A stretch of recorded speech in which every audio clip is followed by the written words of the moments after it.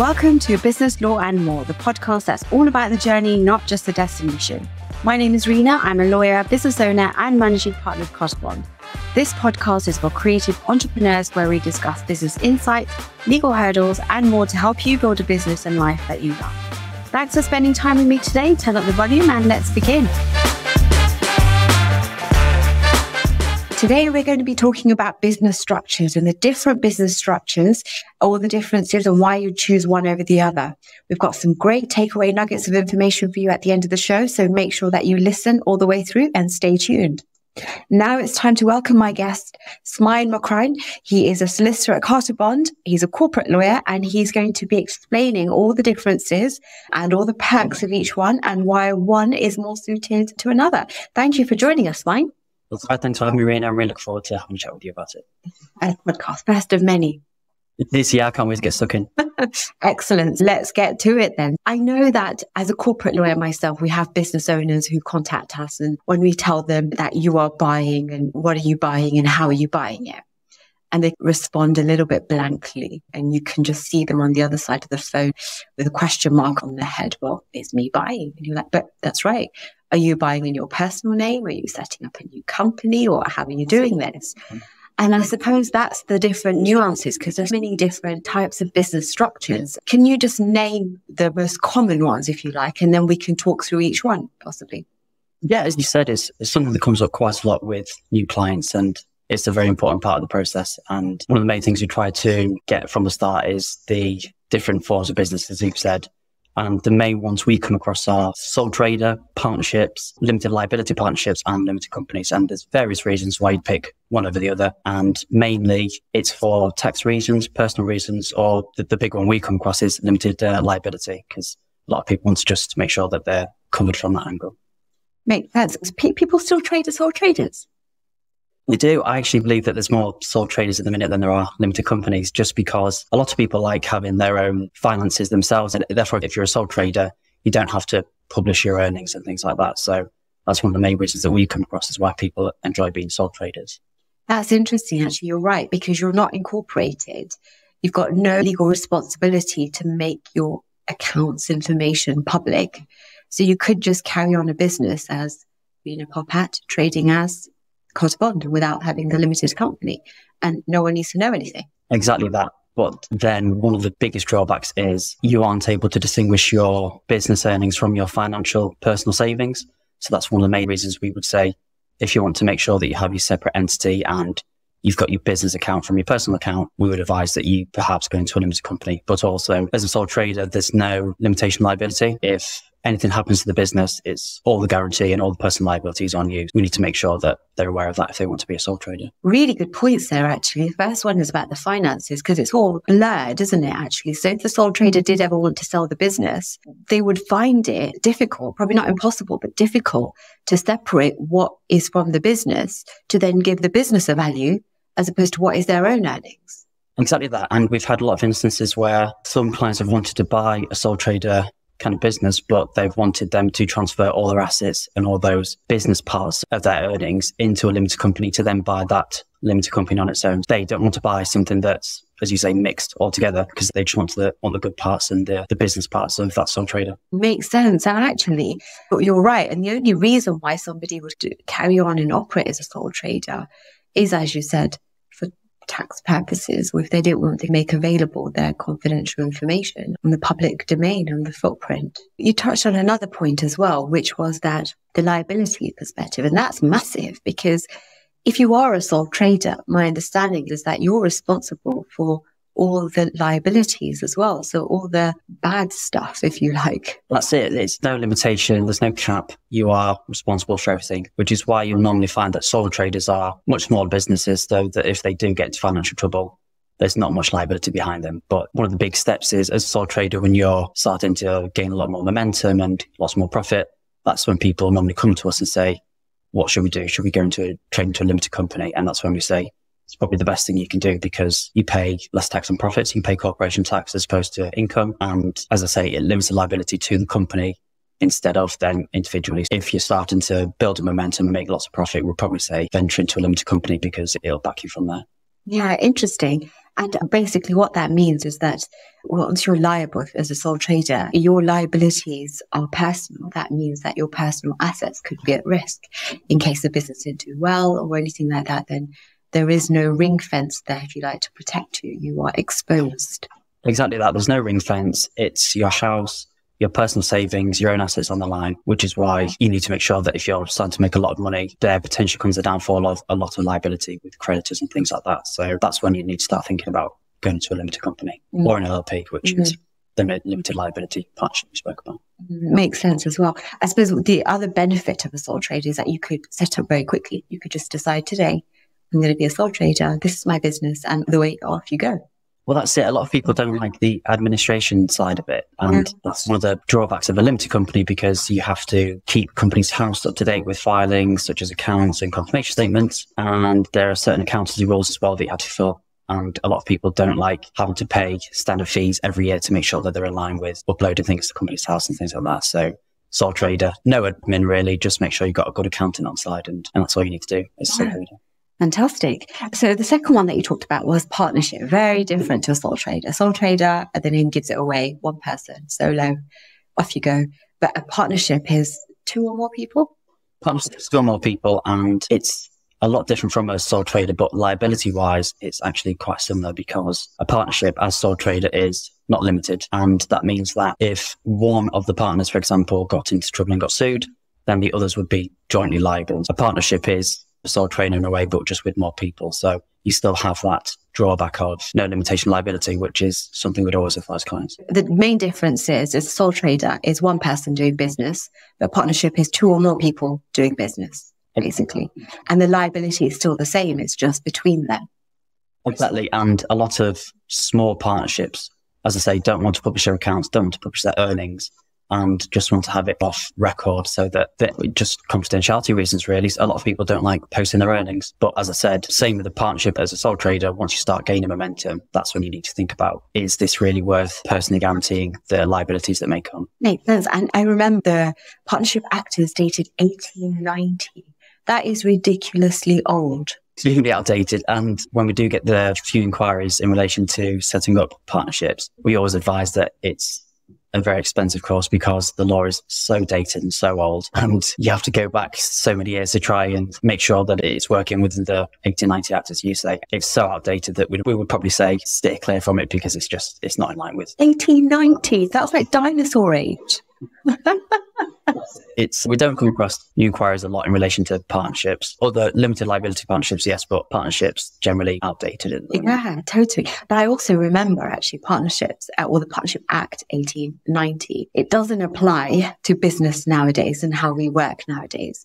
For example, it's got some nuances in there to say that unless until you've got a partnership agreement setting out some terms, then if there's two or more partners, one of them dies, then the partnership comes to an end.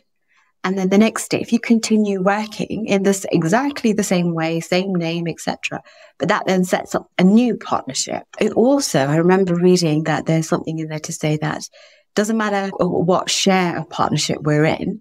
I could put in 70% and you could put in 30%. But if we don't have a partnership agreement, then technically everything is equal. So you've benefited from this, right? That's a really good point, actually, because we had a client want to purchase a accounting firm a couple of years ago, and we got to the end of the due diligence, having spent lots and lots of money trying to find out more about the partnership.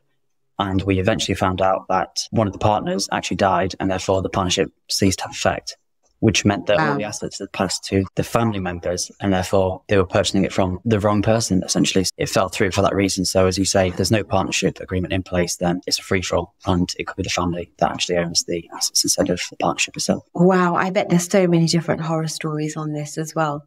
So the key is if there's going to be a partnership, then you need to have a partnership agreement. Okay. Yeah. Okay. Equity who owns what proportions are going to who and how much each person's put in and how much each person attributes and therefore gets out of it respectively. I suppose also you need to have in there some deadlock provisions as well, because if there's two of you, how do you decide anything if, there, if there's a deadlock? 50 50 is always a complex matter mm-hmm. and it's something we come up across very regularly, especially with limited companies as well. And for people that don't know the general rules, you have to have more than 50% to be able to push decisions through in a company And if it's 50 50 and there's no documents in place and you two disagree, then the company essentially comes to a standstill. And another example, we had a big client a couple of years ago that was deadlock and I think it was about 20, 25 million turnover, a very good established company. And they couldn't come to a decision. And a couple of weeks later, the bank pulled all the funding, all the resources, because they said if you can't trade as a normal company, then that's that. So it's very important to get documents like that in place. Wow. Yeah. And especially with the act being dinosaur age, 1890, we look forward to that being revised soon one day. Brilliant. So we talked about sole partner, uh, sole trader and partnership. Really interesting. The third one you mentioned was LLP. So that's limited liability partnership. Oh, sorry. That's essentially the same as a partnership, but it's got the limited element within it. What does that mean? This means that you are limited to the amount you put in essentially instead of it being unlimited, uncapped as you would have with a partnership. For example, say there's three partners want to enter into a limited liability partnership. You all put £20,000 in. Your cap is to the money you've put in. So no more, no less. And we see a lot of them at the moment. And it's a good way to start a business. And it's effectively just as well run as a limited company. This is what we normally tend to see. That's interesting. When you say that it's limited, you mean that the liability of the partners is limited to whatever they put into the business? That's it. There can become situations where your creditors, so the people that you owe money to in the limited liability partnership, outweighs your assets. So what the partnership is worth essentially. And when it gets to that stage, that's when the liability stops. What happens is if you owe more than you are making in the partnership, instead of you being personally liable, the partnership will either go into liquidation or have some effect that way instead of actually you paying that deficit. Got it. So there is some protection there for the partners. So it's run like a partnership but your liability or the partner's liability is limited. But I suppose the drawback of this is that it needs to be incorporated. So all the information about who the partners are, their accounts, etc., is all going to be on the public domain. Well, this is it. This is the same issue with the limited company. And there are certain accounting rules that if you reach over a certain amount of turnover and you have a certain amount of employees, then you have to, for example, firstly publish accounts and follow the same rules as you would do with a, a limited liability company, but also you would have to publish how much people are earning and how much the highest um, member is earning as well, which a lot wow. of people don't like. Okay. Wow. So there's pros and cons, isn't there, actually? And we're not going to touch on the tax bit because neither of, uh, well, I don't know about you, but I can't do math. No, neither can I. And with an LLP, then, do you need to have an agreement similar to a partnership? exactly the same. I would say from the first day, make sure that agreement's in place so that everyone knows what they're doing. Everyone knows how much they put in percentage wise. And also it's quite important to have that in place for drawings. So for an LLP, it's drawings that we take out of the business for the partners. So just to avoid any confusion, any dispute later down the line, if it's in black and white written down, then it's much easier to um, avoid any dispute. And is that LLP agreement a private document or does that need to be on the public domain at Companies House as well? It is. It's private, which is one of the good things about having it in the background you'll have your accounts and your confirmation statements public, but you'll have that in the background. It's much like a shareholders agreement for a limited company. Fantastic. Brilliant. That's really interesting. And then the final one you mentioned was the, the most common, I won't say most common actually, I say most known is the limited company. It's the one we as listers come across most, yeah. to be honest. Just so much easier to run. And I think because of the Companies Act, which is 2006, much more up to date than the 18 Partnership Act, I think it's a lot more transparent as to what people need to do. And there's updates in the law effectively every month with different cases. So I think people like that transparency and knowing exactly what rules to follow. And if they don't, they know how to rectify it quite quickly. So with a limited company, I know that there are shareholders who own like a slice of the company, depending on the shares. And we do have a different podcast for shareholder agreements. So make sure you listen to that. Just a plug in there. But with a limited company, that is on the public domain. So that's firmly a Companies House, isn't it? Limited company, everything's public. Mm-hmm. Like I said, the confirmation statement, the accounts, the directors, the shareholders, the secretary as well. Everything's black and white. Everyone can see it to view. And when we work in merger and acquisition files, that's beneficial to a prospective buyer because they want to know everything is in black and white and it's just able to view. It's a lot easier to deduct the value of the company because everything's so open. So as a prospective buyer, we normally find that they like buying limited companies because it's much easier for them to see how much the company's worth effectively. Yeah, interesting. And with companies, you have to have articles of association.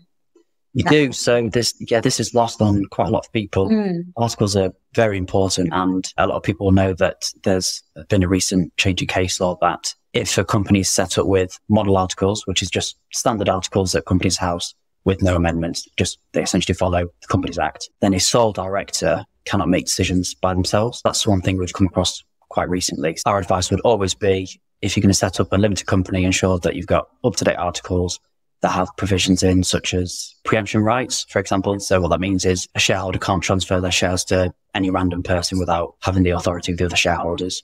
And you can have fancy provisions in there, such as good leaver, bad leaver, which essentially, if you're a good leaver and the directors think that you've, you've been a good shareholder, then you get fair value. And a bad leaver, for example, gross misconduct, then you get one pound for each share that you have. So there's lots of provisions you can include in there. That's interesting. And then these provisions, sometimes people put them in the articles, but they, other times they put it into a shareholders agreement. My understanding why they do one over the other is that if it's in the articles, it's going to be on the public domain, public records. Everyone can see when you're a good leaver and a bad leaver and all the rest of it. Whereas if it's in the shareholders agreement, that's a private document. Nobody gets to see it. You can have it. But the key is that the articles and the shareholders agreement talk to each other. Exactly that. So we normally try and marry them up. Shareholders agreement is between the shareholders and is a private document, as you say. And the difference with the articles are they bind the shareholders, but also bind the company.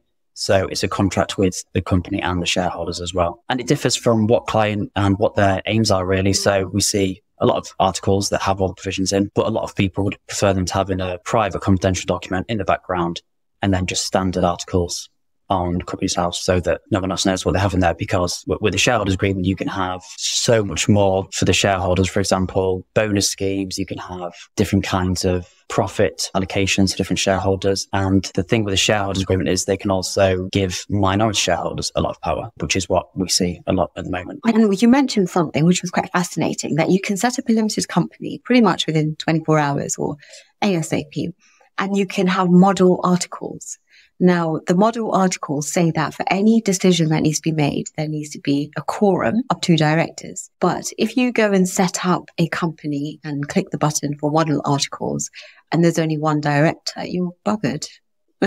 yes, you are. So you can do absolutely nothing apart from appoint another director, which kind of defeats the objective of being a sole director of a company.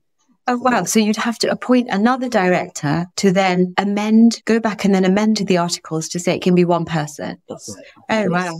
Model uh, Article 14, it says that the only decision you can make is to appoint someone else so that you have standard quorum, which is two. Wow. So all the people listening, if you've got limited companies, check your articles.